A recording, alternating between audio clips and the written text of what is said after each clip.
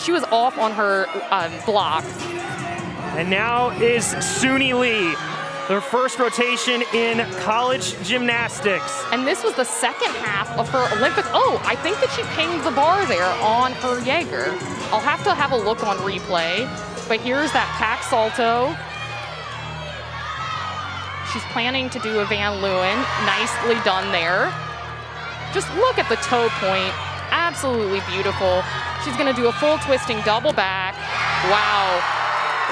Stuck that. Really beautiful job. Again, well, yeah, we'll have to see on replay if she was able to, if she did touch her. Yeah, let's have a look here. So that's her half turn.